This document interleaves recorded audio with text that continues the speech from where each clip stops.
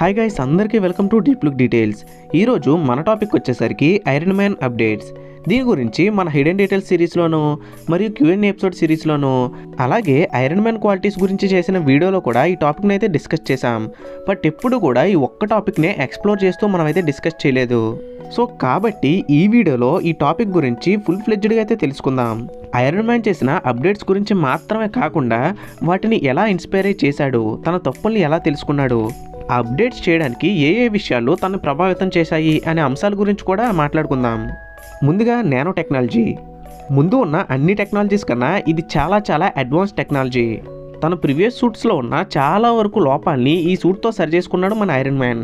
But మేజర్గా తను nano టెక్నాలజీని క్రియేట్ చేయడానికి ఒక కారణం అయితే ఉంది. కెప్టెన్ అమెరికా సివిల్ వార్ మూవీలో మ్యాన్ వచ్చేసరికి ఐరన్ మ్యాన్ సూట్లోకి వెళ్ళి తన సర్క్యూట్ని అన్నింటినీ కూడా దెబ్బతీస్తూ ఉంటాడు. అప్పుడు ఐరన్ మ్యాన్ చాలా కంగారు పడతాడు. ఎందుకంటే ఐరన్ మ్యాన్కి అప్పటి వరకు అలాంటి సూపర్ హీరో ఉన్న సంగతే తెలియదు సో భవిష్యత్తులో కూడా తను ఇదే టెక్నాలజీని కంటిన్యూ చేసినట్లయితే యాంట్ మ్యాన్ లాంటి సూపర్ హీరో కానీ లేదా అటువంటి సిమిలర్ పవర్సే ఉన్న సూపర్ విలన్స్ కానీ ఐరన్ మ్యాన్ని చాలా ఈజీగా ఓడించే అవకాశం అయితే ఉంది. అందుకే ఐరన్ మ్యాన్ తన యొక్క నెక్స్ట్ అప్డేట్గా నానో టెక్నాలజీని అయితే తీసుకొచ్చాడు. కొన్ని లక్షల కోట్ల కోట్ల నానోబాట్స్ తన యొక్క ఆర్క్రియేటర్లో స్టోర్ అయి ఉంటాయి. ఆ నానోబాట్స్ యొక్క సైజు కూడా దాదాపు పరమాణువు సైజులో ఉంటుంది. సో ఒకవేళ మ్యాన్ లాంటి హీరోస్ ఐరన్ మ్యాన్ పైన అటాక్ చేసినా సరే పరమాణువు కన్నా చిన్నగా మారలేరు. ఒకవేళ మారినా సరే క్వాంటమ్ రీలం అనే కాన్సెప్ట్లోకి అయితే ఎంటర్ అయిపోతారు. సో పరమాణువు కన్నా చిన్నగా మారే సాహసం ఎవ్వరు కూడా చేయరు. ఒకసారి క్వాంటమ్ రీలంలోకి ఎంటర్ అయినట్లయితే మళ్ళీ తిరిగి రావడం చాలా కష్టం. అండ్ ఐరన్ మ్యాన్ సూట్ను కూడా నాశనం చేయలేరు. ఈ నానోటెక్ వల్ల ఇంకొక అడ్వాంటేజ్ కూడా ఉంది. ఒకవేళ యాంటమాన్ లాంటి సూపర్ హీరోస్ చిన్న సైజులోకి మారి ఒక పర్టికులర్ ప్లేస్లో ఉన్న నానోబాట్స్ని నాశనం చేసినా సరే వేరే చోట ఉన్న నానో పార్టికల్స్ వచ్చేసరికి ఆ ప్లేస్ని రీప్లేస్ చేస్తాయి. సో ఆ సూట్ని డిస్ట్రాయ్ చేయడం చాలా చాలా కష్టమైన పని. ఇక సెకండ్ అప్డేట్ వచ్చేసరికి ఐరన్ మ్యాన్ సూట్లో కాదు స్పైడర్ మ్యాన్ సూట్లో మనందరికీ తెలిసిందే ఐరన్ మ్యాన్ తన తప్పులు గుర్తించి వాటిని సరి చేసుకుంటూ ఉంటాడు. ఈవెన్ తన సూట్లో మాత్రమే కాదు తన వాళ్ళ సూట్లో కూడా.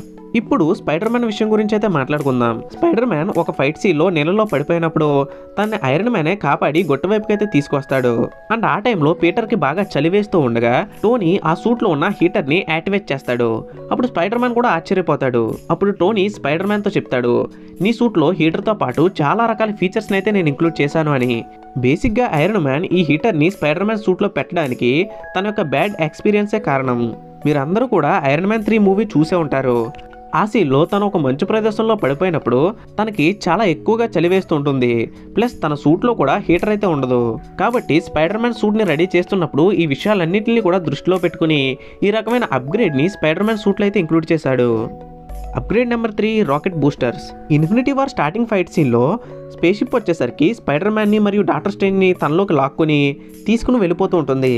ఆ టైంలో ఐరన్ మ్యాన్ ఆ స్పేస్ షిప్ని అందుకోవడానికి ప్రయత్నిస్తూ ఉంటాడు. కానీ తన యొక్క వేగం అయితే సరిపోదు. అప్పుడే ఐరన్ మ్యాన్ తన యొక్క ర్యాకెట్ బూస్టర్స్ని అయితే యాక్టివేట్ చేసి తన యొక్క ఫుల్ స్పీడ్ని అయితే పెంచుకుంటాడు. టోనీ ఈ అప్డేట్ని నానో టెక్నాలజీలో ఇంక్లూడ్ చేయడానికి మెయిన్ కారణం అయితే ఉంది. యాక్చువల్లీ సివిల్ వార్ మూవీలో విజన్ యొక్క మైండ్ స్టోన్ పవర్ రోడీని తాకినప్పుడు తన కిందకి పడిపోతూ ఉంటాడు. అప్పుడే మన ఐరన్ మ్యాన్ రోడీని కాపాడడానికి వెనక్కి ఫ్లై చేసుకుంటూ వస్తాడు. కానీ తన సూట్లో ఉన్న థ్రస్టర్ స్పీడ్ సరిపోకపోవడం వల్ల తనైతే రోడీని రీచ్ అవ్వలేకపోతాడు. దీని కారణంగానే రోడీ యొక్క కాళ్ళు అనేవి కూడా ప్యారలైజ్ అయిపోతాయి. ఒకవేళ ఆ సీన్లో తన స్పీడ్గా ఉన్నట్లయితే రోడీని ఖచ్చితంగా కాపాడగలిగేవాడు. సో ఐరన్ మ్యాన్ ఈ విషయాన్ని దృష్టిలో పెట్టుకుని తన యొక్క నానో సూట్లో రాకెట్ బూస్టర్ని అయితే ఏర్పాటు చేసుకున్నాడు. Upgrade number four energy absorbing. ఈ ఎనర్జీ అబ్జార్బింగ్ టెక్ని మనం చాలా సీన్లో అయితే చూసాం. ఈవెన్ అవెంజర్స్ యొక్క మొదటి మూవీలోనే మనం ఈ అప్గ్రేడ్ అయితే చూసాం.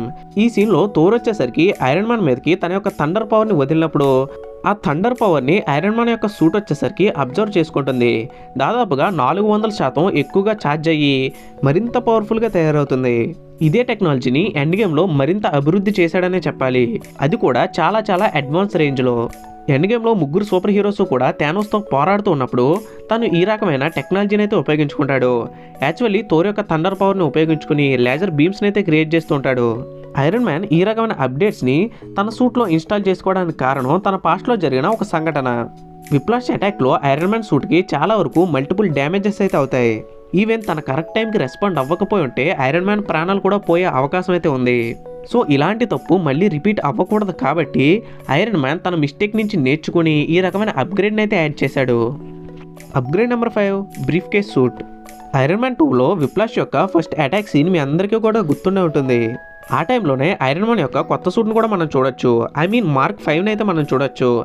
అది కూడా ఒక సూట్ కేస్ రూపంలో ఉంటుంది. అండ్ ఇన్స్టాల్ చేసుకోవడానికి కూడా చాలా సౌకర్యంగా ఉంటుంది. ఐరన్ మ్యాన్ ఈ అప్డేట్ చేయడానికి మెయిన్ కారణం వచ్చేసరికి తను ఇదివరకు సూట్ని ఇన్స్టాల్ చేసుకోవాలి అని అన్నట్లయితే ఖచ్చితంగా ఒక మిషన్ సహాయం అయితే కావాలి.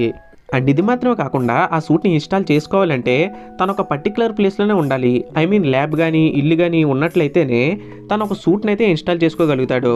బట్ ఐరన్ మ్యాన్ ఈ రకమైన టెక్లోనే ఉండిపోయినట్లయితే ఖచ్చితంగా తన శత్రువుల చేతిలో చనిపోతాడు. ఎందుకంటే తన ఒంటి మీద ఐరన్ మ్యాన్ సూట్ లేని సమయంలో ఎవరైనా శత్రువులు అటాక్ చేసినట్లయితే తనకి ఎటువంటి సూపర్ పవర్స్ లేవు కాబట్టి చనిపోయే ప్రమాదం అయితే ఉంది. సో ఈ విషయాన్ని దృష్టిలో పెట్టుకునే తనకి సింపుల్గా ఇన్స్టాల్ చేసుకునే సూట్ని అయితే తయారు చేసుకున్నాడు మన ఐరన్ మ్యాన్. ఈ వీడియోకి అయితే ఇంతే గైస్ ఈ వీడియోకి పార్ట్ టూ కావాలి అని అనుకున్నట్లయితే ఖచ్చితంగా కామెంట్ సెక్షన్లో అయితే తెలియజేయండి. అండ్ అలాగే ఈ వీడియో కనుక మీకు నచ్చినట్లయితే ఈ వీడియోని లైక్ చేసి మీ ఫ్రెండ్స్ మరియు మీ ఫ్యామిలీ మెంబర్స్కి సజెస్ట్ చేశారంటే నాకు మళ్ళీ నెక్స్ట్ వీడియోస్ చేయడానికి చాలా చాలా ఎంకరేజింగ్ అయితే ఉంటుంది. Thank you for watching guys